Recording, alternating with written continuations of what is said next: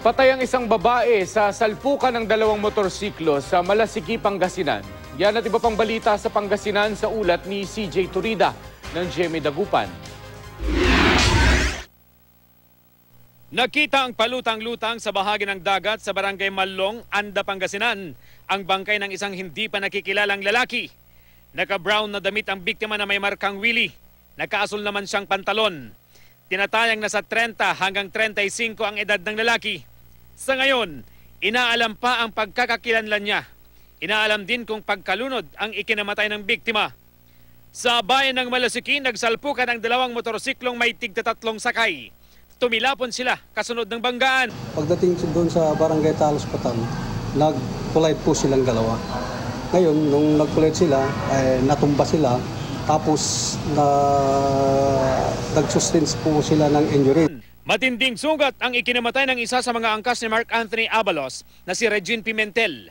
Sugatan naman si Abalos at isa pa niyang angkas na si Ryan Kalimlim. Sugatan din ang isa pang rider na si Jovito Rosal at mga angkas niyang sina Noel Rosal at Jeremy Rosal. Nabagalamang walang helmet ang mga sangkot sa aksidente. Wala pang pahayag ang mga rider. Sa Manawag, binaril ng dalawang salaring nakamotorsiklo ang isang Romel Ave. Tinamaan ng bala sa braso ang biktima. Ah, nagwawalis lang po ako tapos may putok diyan. Akala ko yung labintador lang ganun, ma'am. Tapos nung nakita ko tumatakbo na siya, tumakbo na rin po ako dito. Yun lang po. Mm, natakot ako hanggang ngayon nga naging yun lang po. Nagpapagaling sa ospital ang biktima. Pinag-aaralan ngayon ng pulisya ang anggulong may kaugnay ng krimen sa bentahan ng droga at baril na ibinibintang daw sa biktima.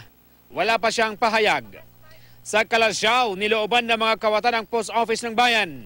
Nasa mismong compound ng munisipyo ang post office, hindi kalayuan sa himpilan ng pulisya. Sinira ng mga salarin ang doorknob ng opisina. Tinangay nila ang mahalagang dokumento, pati mamahaling stamps at isang computer monitor. Ah, mga estimate namin mga more than 25,000 pesos.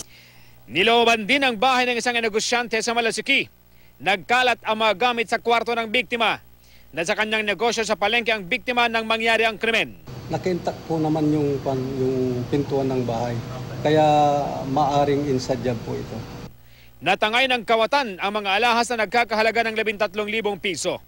Inaalam pa kung sino ang posibleng nasa likod ng panluloob. CJ Torida, Nagbabalita, Pilipinas!